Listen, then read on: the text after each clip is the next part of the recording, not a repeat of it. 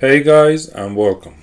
In the previous video I talked about how we can obtain an INP file for the UEL subroutine. In this part I'm going to talk about the Fortran coding. So the main equation for static analysis is as follows in which we have to uh, obtain the delta U for uh, our uh, problem.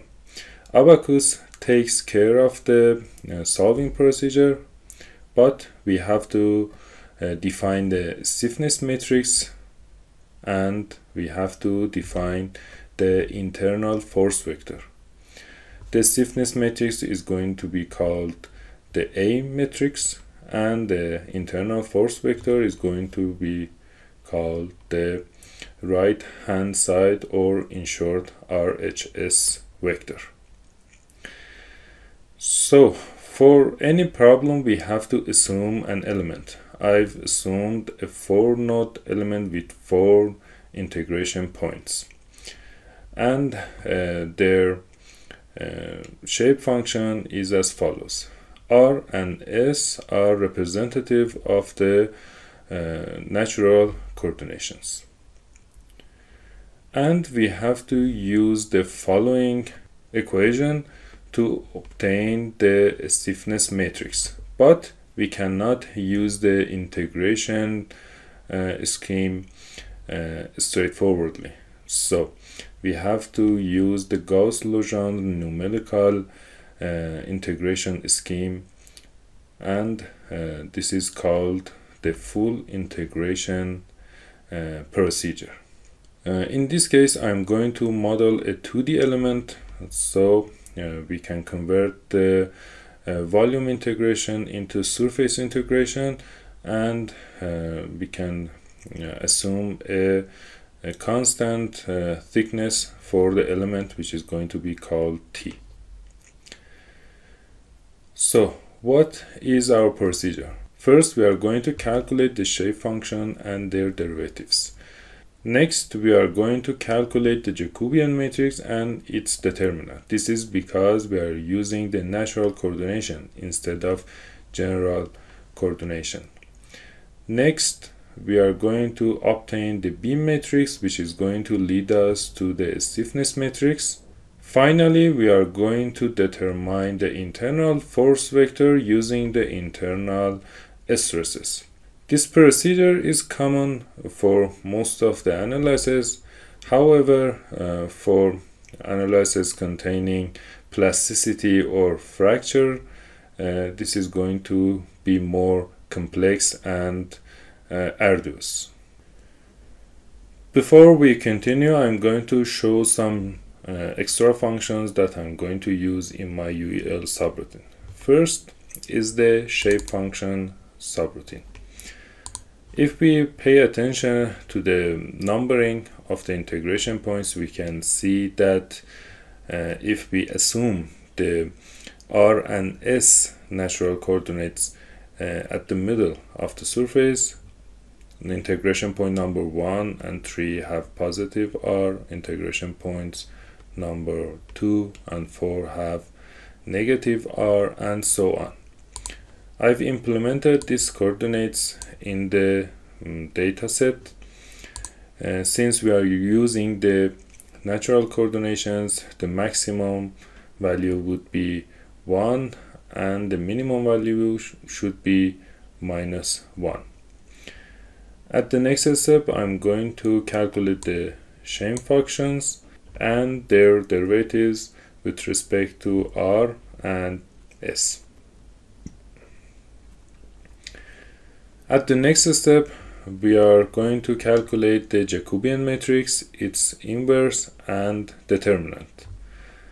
We can calculate the Jacobian matrix using the coordinates multiplied by the shape function's derivatives uh, with this highlighted lines and uh, we can calculate the determinant of the Jacobian matrix followed by the inverse of the Jacobian matrix. Note that we are uh, modeling a 2D element Therefore, the Jacobian matrix would be a 2 by 2 matrix. Next, we are going to calculate the uh, B matrix using B matrix subroutine. First, I'm going to transfer the coordinates uh, from the natural system to the general system using uh, this line and then I'm going to uh, set those derivation in the right order for the uh, B matrix and uh, calculate the transpose of the B matrix using the highlighted area.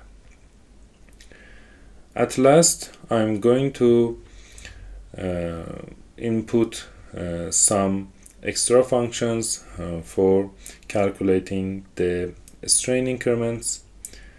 Since Abaqus provides us with the increment of the displacement, we can uh, calculate the increment of the uh, strains using uh, these highlighted lines.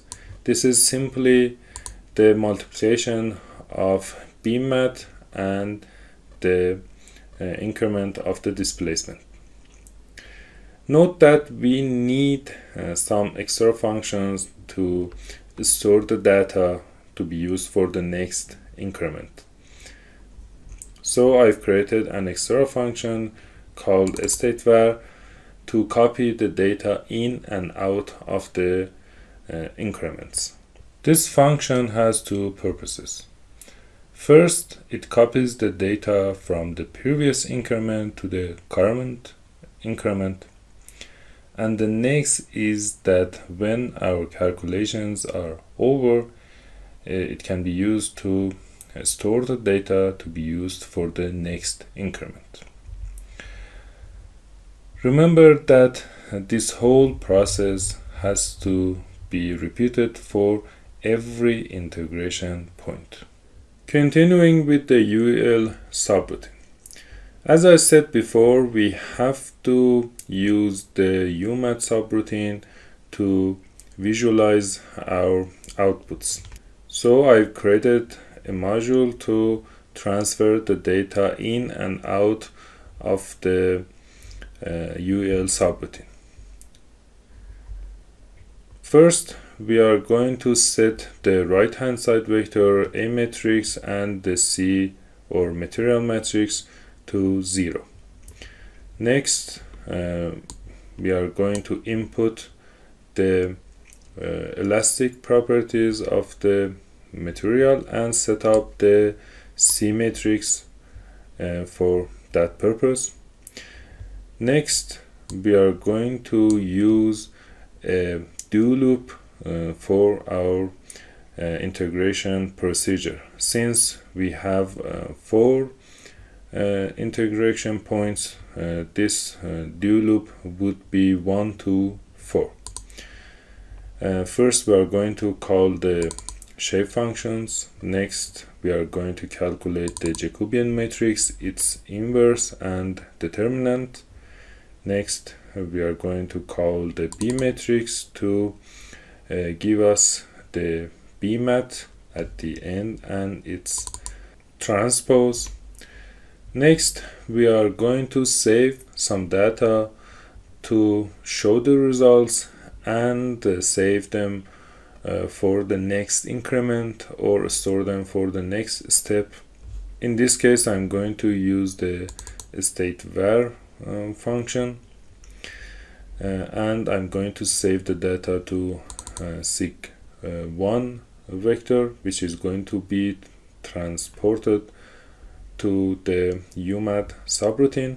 Next I'm going to call the strain inc to produce the uh, increment of the strain vector and use that uh, to uh, obtain the uh, material point stresses and uh, with a simple uh, multiplication I'm going to obtain the internal force vector and with a do loop I'm going to uh, transport it to the right hand side vector next uh, I'm going to calculate the stiffness matrix using uh, do loops.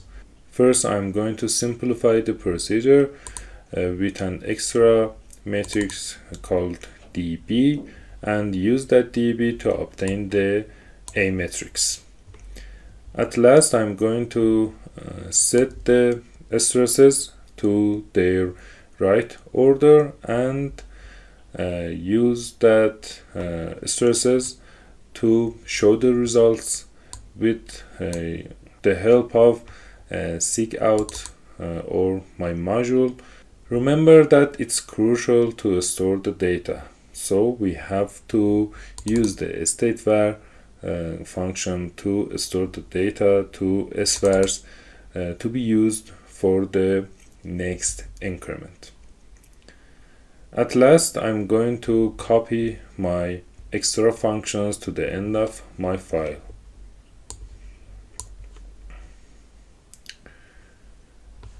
Continuing with the UMAT subroutine, we have to uh, put the use kvisual at the start of the subroutine and um, we are going to use an indicator for the number of elements.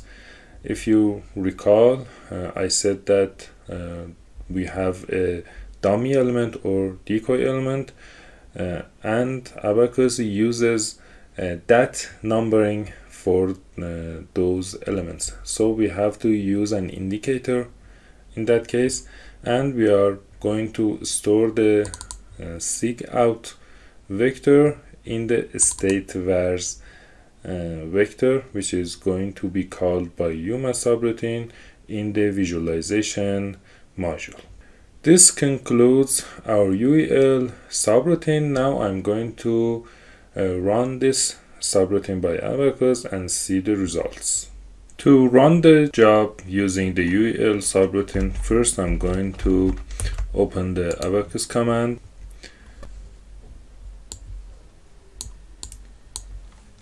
and then I'm going to change the working directory to my current directory and use the following commands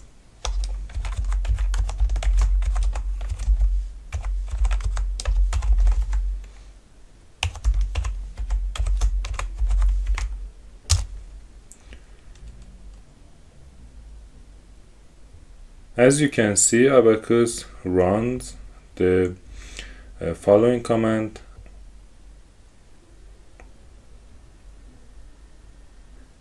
Now that the job has been completed, we can see the results. For that purpose, I'm going to open Abaqus CAE. First, I'm going to change the working directory and I'm going to open the ODB. As you can see, the results are saved in the state vars. I've only targeted the uh, stresses, therefore I'm going to have only for state V's or for stresses. To compare the results, I've already run a simulation uh, for this uh, problem using the Abaqus solver which I'm going to show in the next step. The job shown on the right side is the job uh, done by Abaqus. So I'm going to uh, first compare the uh, tension. Uh, as you can see the results are completely the same and I'm going to compare the shear stresses and for that purpose I'm going to see the S12 for the uh, job 2 and you can see that the results are the same. This concludes our video. If you find this video useful, please support me by liking and subscribing to my channel. Take care.